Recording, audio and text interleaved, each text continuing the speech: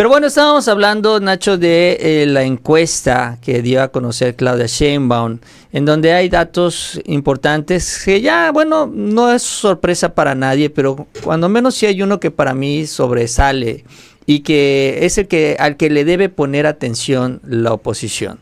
¿Por qué? Porque bueno, siete de cada diez mexicanos, dice la encuesta, apoyan que los jueces, magistrados y ministros sean votados por el voto ciudadano, vaya, que votemos nosotros por ellos. Siete de cada diez. Sin embargo, esta decisión no tiene mucho que ver con lo que dice el presidente López Obrador. Sí, tiene en un sector de la población, efectivamente, pero hay otro grupo de la población que no necesita escuchar o conocer la propuesta del presidente López Obrador. ¿Por qué? Porque también ellos apoyan esto. Porque cuando se hace otra pregunta, se le preguntó también a la gente si conocía el plan C, la reforma al Poder Judicial del presidente. Cinco de cada diez respondieron que sí y los otros cinco dijeron que no aún sin conocer la propuesta del presidente López Obrador. Todavía un mayor número de personas, 7 de cada 10, dijeron que sí, ellos quieren que se les tome en cuenta, que se nos tome en cuenta para que se le vote a los jueces, magistrados y ministros. Y 9 de cada 10, ellos también piden que se cree un organismo especial para castigar a la corrupción de jueces, magistrados y ministros. O sea, aquí finalmente lo que revela esta parte de la encuesta es que la propuesta del presidente va en sintonía con lo que realmente queremos la mayoría de los mexicanos. No es al revés, no es que el presidente nos haya convencido, oigan mexicanos, ¿saben qué? Vamos a reformar el Poder Judicial porque pues ya no nos gusta cómo está y yo propongo esto, los voy a convencer para que me apoyen. No, lo que hace el presidente es recibir este sentir ciudadano y lo refleja en una propuesta. Y obviamente como es natural, al ser la voz de los ciudadanos, tiene este gran apoyo. O sea, es en sentido opuesto. La oposición nos dice, es que el presidente los trae a todos ahí hipnotizados. No, no, no. Es el ciudadano, es el mexicano que quiere una reforma de este tipo. Si la oposición no quiere escuchar esto, pues ¿qué es lo que va a suceder? Va a seguir sintiendo el rechazo de los ciudadanos. Tan fácil como eso. Y no porque lo diga la 4T, no lo porque lo diga el presidente o Claudia, es porque no están escuchando a la gente. Porque la mayoría de la gente opina así, sin conocer la propuesta, muchos de ellos sin conocer la propuesta del presidente Obrador. Bueno, este, en una actualización sobre la madre buscadora Ceci Flores ha tuiteado su cuenta lo siguiente. Pedimos a las autoridades que hagan lo necesario para localizar a Ceci Flores. Ustedes saben dónde está su refugio, que una puerta no les impida entrar. O sea que supongo que esa es, no es Ceci Flores, es una cuenta, alguien está manejando su cuenta, aunque esta último oración, la es que está un poco críptica, por decirlo menos, ¿no? Ustedes saben dónde está su refugio, que una puerta no les impide entrar. no entiendo eso. O sea, supongo que una puerta es que, bueno, pues que manden a los policías y rompan la puerta o lo que sea. No, no sé, e, está muy críptico esta parte. También mencionan, porque ya se empezó a hacer muy viral toda esta, esta, esta situación, que este, a ver, aquí dice, en este que iba Informe el colectivo 10 de marzo que la madre buscadora desapareció cuando viajaba de la Ciudad de México con destino a Querétaro, ¿no? Que finalmente este es donde no se reporta que no ha aparecido. Entonces ya ahorita se han encendido las redes sociales, en particular la red, la red social X y obviamente pues con un montón de cosas. En fin, vamos a seguir pendientes sobre este asunto. Bueno, ya parece que estamos resolviendo un poco los problemas ahorita de conectividad. Ojalá que no nos sigan haciendo más trampas. Pero bueno, Mauricio, en medio de todo esto, Norma Piña arranca su campaña para la reelección. No es broma. Ya subió su primer spot. Mira, el, el día de hoy, la cuenta oficial del Consejo de la Judicatura que preside Norma Piña Veo lo que pone. Mujeres que hicieron historia. Norma L. Piña, jurista, funcionaria y actual presidenta de la Suprema Corte. Conócela, ¿no? y suben un video. Es increíble este video. Chécalo.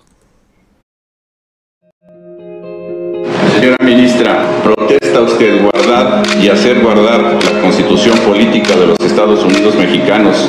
Sí, protesto Hoy me dirijo a ustedes honrada, comprometida, responsabilizada, obligada jurídica y moralmente a representar al Poder Judicial de la Federación con pasión y Yo creo que ese. ¿Y por qué no aparece ella? y- y- pero ese ni siquiera es su voz, Ad- Mauricio. además, además. ¿No? honestidad. Y si así no lo hace, que la nación se lo demande. Esas fueron mis primeras palabras como la primera presidenta de la Suprema Corte de Justicia de México. Ha sido un largo y sinuoso camino, lleno de satisfacciones y desafíos, como el de muchas mujeres mexicanas que quiero representar. Y así se va, se va, se va, hablando dos minutos de cacho, como si fuera una presentación de PowerPoint, pero con una voz, eh, voz en off que no es la de ella, voz falsa. Bueno, no es falsa, es una voz artificial. Este, hablando como, de, como si ella fuera Norma Piña. Pero ya arrancó la campaña. Esta es la campaña para la reelección porque si no, no tiene caso que hoy salga, conoce a Norma Piña y vota por ella casi casi. Pues tan fácil que era dar una entrevista. Nacho, tienen todo un canal de televisión que es Justicia TV, que transmite, tienen todo el equipo, tienen los productores, tienen a los entrevistadores. Si no quería una entrevista, bueno, pues que ya se pusiera a hablar sola frente a la cámara, que le pusieran el teleprompter. Si Xochitl Gálvez lo puede leer con más razón también la propia Norma Piña. Tan fácil que era hacer eso como si estuviera tan ocupada la señora, ¿no? En el transcurso de todo el día. Digo, no dudo que pues eh, hay que atender cosas de la corte y del Consejo de la Judicatura, pero pues si ya vas a mandar a hacer este tipo de bodrios, ¿no? Esta porquería, pues cuando menos, pues sí dedícale algo de tiempo. Es su imagen. O sea, es la imagen de Norma Piña. Sobre todo porque habla en primera persona. Eh, pero bueno, pues esa es la baja altura de miras, ¿no? Que tienen en el Poder Judicial. Y también empezaron, Mauricio, a hacer campaña otros jueces, ministros y digo, magistrados. ¿Sí los has visto? Que dicen, yo tengo 15 años en el Poder Judicial, ¿no? O sea, que dicen que son hijos de mecánicos, este, hijos de no sé tanta cosa. No, eso no los he visto, fíjate, ¿No me los he topado, no, no, no. Mira, ve. Vamos a irnos. Alejandro Avante, ¿no? Que este cuate es magistrado regional del Tribunal Electoral. Después de 12 años en la carrera judicial, mucho tiempo de estudio y un concurso de oposición, hoy hace 13 años inicié mi función como juez de distrito en Celaya, Guanajuato. Ser juez de amparo ha sido quizá la tarea que más he disfrutado como juez federal. Etcétera, etcétera, etcétera, ¿no? Dice, wow, otro, ¿no? O, o Siri Cedeño. Este es igual, es magistrado federal. La carrera judicial ha hecho juzgadores a quienes a mucha honra vienen de familias de mecánicos, campesinos u obreros. Gente que por méritos propios ha llegado a ocupar el alto honor de la justicia. No hay servidores públicos más ciudadanos que los que pertenecen a la carrera judicial. No los conoces porque no son políticos, sino ciudadanos como tú. Y aquí le responden algunos que yo veo que son bots, pero bueno. Así es, magistrado, dice. En caso, mi padre fue conductor de tráiler y mi madre ama de casa.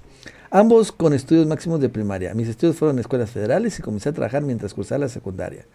Provenía de una familia con cinco hermanos, el acceso a la educación era difícil, etcétera, etcétera, etcétera. ¿no? Hay que ser que es juez, el otro es correcto, todos los días convivimos con ciudadanos.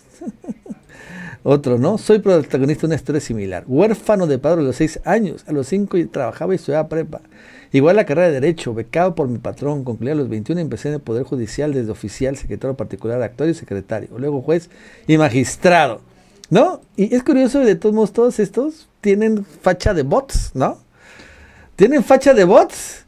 Y ya, porque ninguno de ellos dice de dónde es. Dicen que son jueces. Juez de distrito especializado en materia de trabajo, pero no dice en qué número ni nada. Ese también, ¿no? Bueno, aquí ni siquiera dice que es juez. Pero ya empezaron, Mauricio. Ese tipo de campañas, ¿no? Muy similares a las que hacía Xochitl Gálvez. Pues está bien, de eso se trata. De eso es justamente lo que se trata. Ahora, en lugar de arrodillarse ante el Consejo de la Judicatura, de arrodillarse ante los que toman las decisiones en el Poder Judicial, porque luego dicen y hablan mucho. La que es la crítica es que eh, este ahora va, vamos a votar y va a llegar gente incompetente, ¿no? Eso es lo que dicen. Ese es el argumento central. Es que va a llegar ahora un cualquiera. cualquiera, cualquier inútil va a convertirse en juez porque así lo vamos a decir los ciudadanos, que además somos ignorantes y ponemos a cualquier idiota en cualquier posición. Bueno, eso, eso, eso es lo que cree la oposición, ¿no? Porque antes se robaban las elecciones, pero bueno.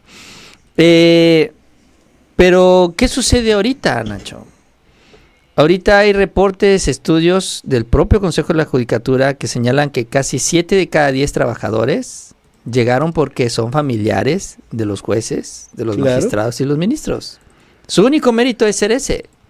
No es por hacer estos estudios de oposición y por andar en la carrera no sé cuántos años y sacrificarse con cinco hermanos. No, no, no, no, no, no, no. Es porque eres pariente del que está ahí metido. Hay casos más extremos en donde el 80% de los empleados son familiares, son novios, son esposos, son cuñados, son todo. Pues nada más falta que le den chamba a la mascota, al perro, para que vaya ahí a cuidar en las noches en la oficina. Y cobren por eso. O sea, entonces, eso es lo que está sucediendo en el Poder Judicial. Eh, así que, ¿cuál es el único mérito? Ese. El problema es que si las cosas estuvieran bien, no se buscaría un cambio en el Poder Judicial de la Federación.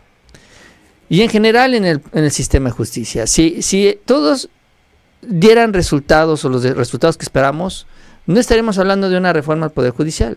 El tema es que no están dando los resultados, las cosas no están bien, por eso es que se buscan corregir. Eh, entonces, eh, pues también, qué bueno, Nacho, qué bueno que lo hacen. Qué bueno que ahora se arrodillen, pero ante los ciudadanos, porque es a nosotros a quienes tienes que responder.